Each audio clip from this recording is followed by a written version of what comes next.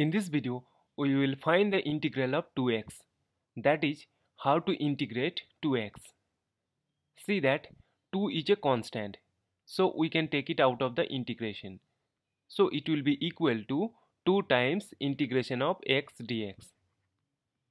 Now to find this integral, we will use the power rule of integration. Using this power rule of integration, this will be equal to 2 times x to the 1 plus 1 divided by 1 plus 1 plus integration constant c. Now simplifying it will be equal to 2 times x square over 2 plus integration constant c. Again simplifying we will get x square plus c. So the integral of 2x is equal to x square plus integration constant c and this is our final answer. Thank you for watching. Please like, share and comment on the video.